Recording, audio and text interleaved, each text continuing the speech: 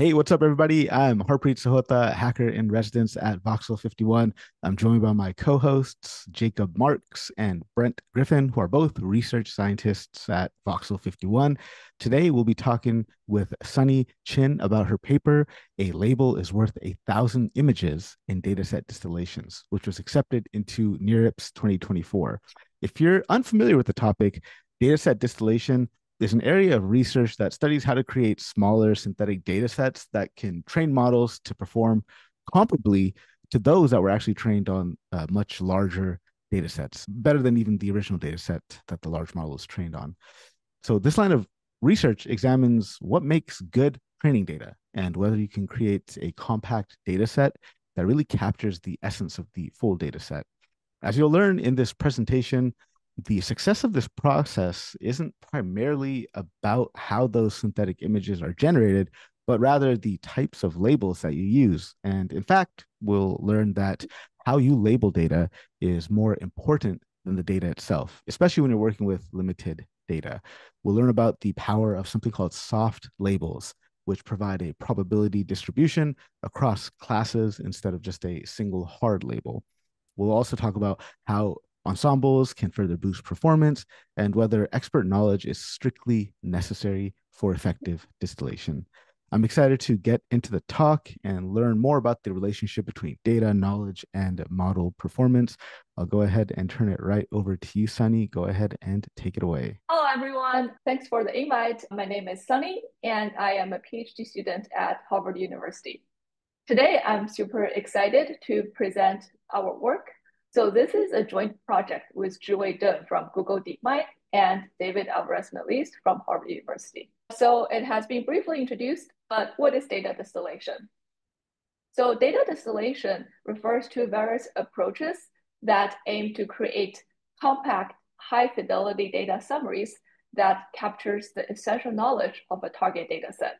So this approach is particularly relevant in the modern era where models are trained on increasingly massive data sets, which could be costly and time consuming to manage. So by compressing a data set into a smaller and highly informative subset, we can significantly reduce the computational resources and storage requirements. Therefore, data distillation is the research that will enable future efficient model training and deployment. And just for a quick overview, in recent years, there are so many methods have been proposed to achieve this data compression. So particularly in image classification tasks, from matching structures to matching gradients, different ways people have come up to compress synthetic images. However, rather than proposing yet another distillation method, our goal in this work is really to understand what specific aspects of the distilled data that drive efficient learning. So one major challenge in, in achieving this goal is that so many existing methods use very complex and distinct techniques to generate synthetic images. And in our work, we emphasize a very common but often overlooked element that really unites these methods. That is the use of soft labels or these probabilistic labels. So in our first set of ablation studies, we examined the performance of several state-of-art distillation methods, both with and without the use of soft labels. So in the figure you are looking at, the solid lines represent the performance of methods when soft labels are used, while the dashed lines represent their hard label counterparts. And on y-axis, we're showing the accuracy of models trained on those distilled data set. And on the x-axis, we're showing the data budget from small to large. The performance difference really just showing that soft labels are absolutely crucial for the success of the state-of-art distillation methods. So following this, we also establish a simple yet very powerful baseline, which we call the soft label baseline. Here in the soft label baseline, we simply pair randomly selected images from the training data with expert generated labels to form a distilled data set. Expert labels refer to uh, labels generated by a model expert, and this expert has been trained on the full data set. And uh, we show the results in the red lines in the figure, and you can see that the soft label baseline really performed on par with many of the state-of-art distillation methods on ImageNet 1K. And this comparison is to show you the essential role labels play in dataset distillation. So beyond highlighting the importance of soft labels, we also establish a data knowledge scaling law. In the left figure, we show that the optimal expert model to generate these soft labels really vary based on data budget. So in other words, if you have a smaller data budget, it is often more optimal to use an expert that has been trained on fewer epochs. And as you increase the data budget, show on the x-axis, it is better to use an expert that has seen more data. Using this insight, we established an empirical data Pareto frontier for uh, data efficient learning. So for instance, in Tiny ImageNet, we can quantify that the use of this optimal expert knowledge is really equivalent to a six time data size, set size reduction. So now you may wonder, so is expert knowledge the only way we can distill data and achieve efficient learning?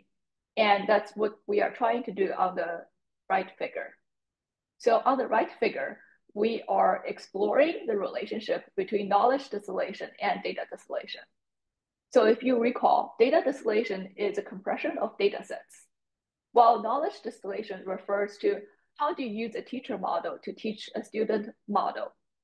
So we were the first work to make a connection between those two distinct fields. What we are trying to do here is that we generate labels using state-of-art data distillation methods, which is called backpropagation in time. And those labels, despite being generated with the data distillation methods, they really recover the same soft label that would have been generated by an expert.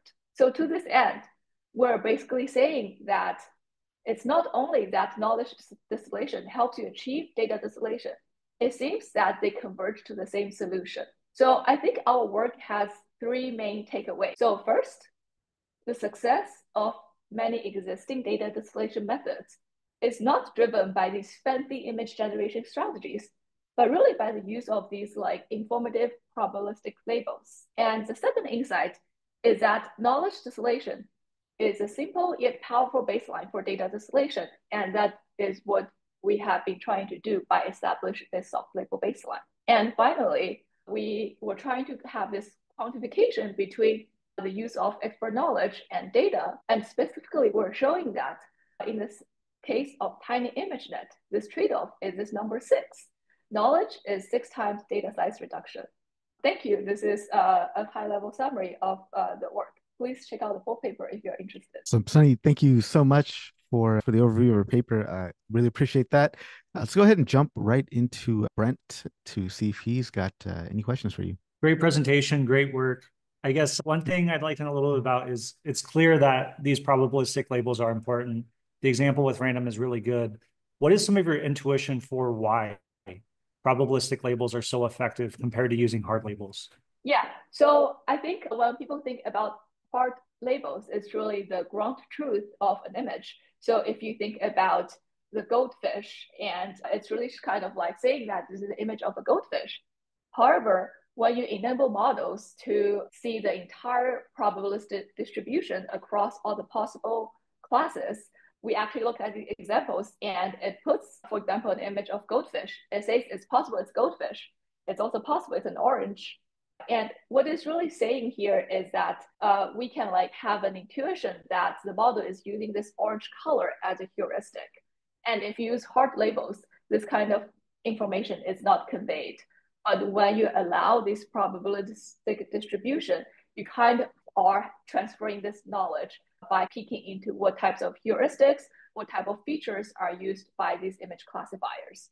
Therefore, you're like giving like more knowledge in those soft max values. I think that's a great answer. Just as a follow-up question, what are some of the downsides then of using the probabilistic labels? Yeah, so I think maybe the downside is going to be very clear when we really see the connection between data distillation and knowledge distillation.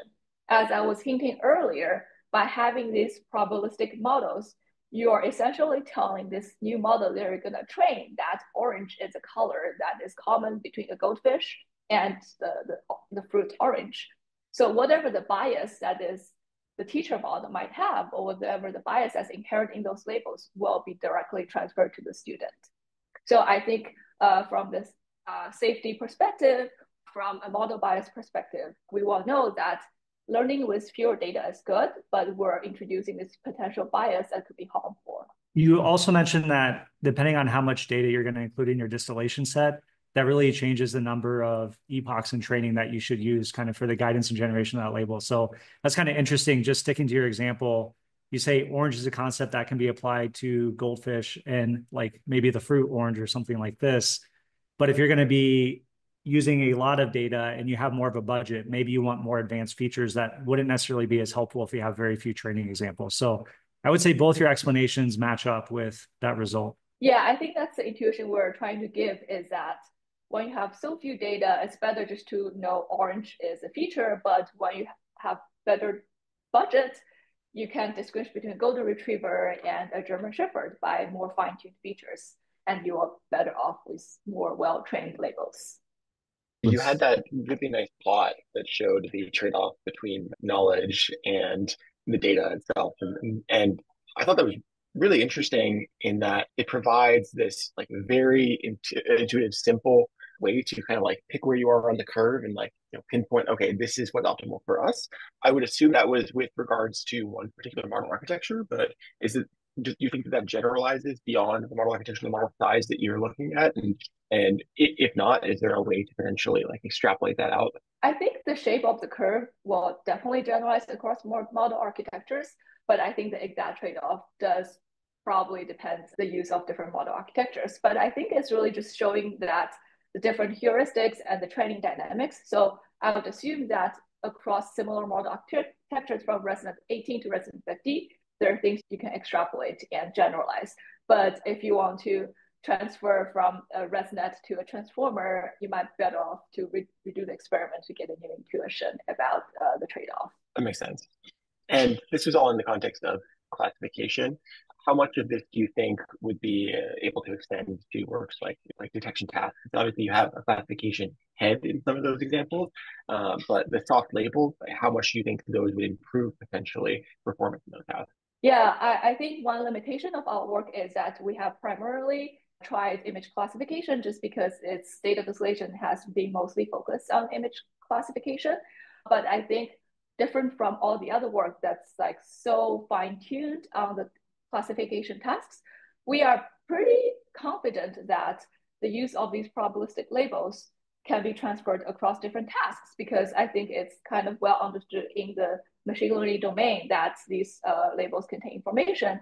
And the additional evidence I have is that because we've drawn this connection between data distillation and knowledge distillation, and in these domains, we have shown that knowledge distillation is quite good. And it indicates that, okay, that means data distillation, which we've seen like it's very similar to knowledge distillation. So I think uh, it's it's going to be a very promising um, way to extend to different modality, different tasks. Awesome. Thank you. I have uh, one question. It's almost kind of how much scale you open up with this approach. So before, if you're training a model, you have one example, you have one label, and then you have however many examples you have. But now you're saying you're going to use soft labels. And so you're almost like blending these different examples together or these different probabilities of different classes together. How do you even decide how many classes you're going to include in any given blend? You know, so you could have like 50% this, 50% this, and then do a 25 75 split. Or you could have a blend of like 10 classes, and maybe one is 10%, one is 50%. It just seems like you're bringing in a lot of complexity. Like clearly the performance is there, but how do you kind of make these decisions about like what is the right amount of blend and how many classes? And can that change depending on what the class is? So if you get you talked about earlier about golden retriever and German shepherd, so like if you're talking about dogs, is there different ways to blend those concepts together? But with objects that are more distinct, maybe you don't have to blend them as much. I, I completely agree. I think there are like smarter ways to achieve, as you say, like this kind of blend and based on what you want the model to get good at and what kind of like storage budget you have. I think there are smarter ways to to do this uh, blend. But I think overall, like we kind of the goal of this work is to make people realize that it's fun to generate a lot of images, but let's look at labels and open the door of like an entire research that people can think about okay then how do we optimize those labels because in this work we all eh, as you've seen, we've just like explored one simple and most straightforward way, which is just using expert labels. Sunny, I'm I'm wondering, like in the paper, we sorry, you guys primarily evaluate soft labels on you know relatively clean data sets, but in real world applications, of course, data is noisy, it has outliers, it's inconsistent. I'm wondering how robust are soft label based distillation methods in the face of such noisy data? Like, will noisy data negatively impact the quality of the soft labels that are generated by the expert models? And how do we even like mitigate these effects? For example, can we develop a technique maybe that uh, identifies and maybe corrects or reweights the noisy soft labels uh, during the distillation process? Yeah, so I think my hope is that at least in the framework of work of using expert to generate labels, by training the expert on this noisy data, the, the expert itself is able to do the denoising by actually understanding the underlying pattern. So the first way to make sure that your soft labels are good is that your expert is doing good enough on a held out validation set or like on a clean denoised test set. And by that kind of quality control, you can confidently say that this expert, despite trained on this noisy data, are generating labels that still captures essential information. And I think that's kind of one way that I can see that soft labels can still be pretty uh, robust against uh, noisy data. And I'm wondering, like, you know, alternatively, would it be possible to develop methods that maybe selectively apply a soft label to specific instances or classes where they seem to provide the most benefit and then use hard labels for the rest? I think if data budget is or like storage budget is kind of the biggest concern there, then definitely there are a lot of things we can squeeze. Or for example, do we really need the full soft max distribution or we really just need the top K where it contains the most informative labels in, in any in any image? And we have experiments in the paper showing that indeed like we can like be quite data efficient by using only top K and still achieve uh, similar results. Yeah, so I think definitely hard and soft blend is one potential. And I think there are other potentials. For example, you can like apply augmentations and then using different soft labels even for the same image. I think there are a lot of variations people can explore. Awesome. Thank you, Sunny. Really appreciate you joining us today and, and chatting with us. If you will be at NeurIPS in Vancouver, please come and say hi to us at the Voxel 51 booth. I'd love to hook you up with some swag and just uh, meet you in person. Thank you again for joining us. I will do, and thank you. Have a good day.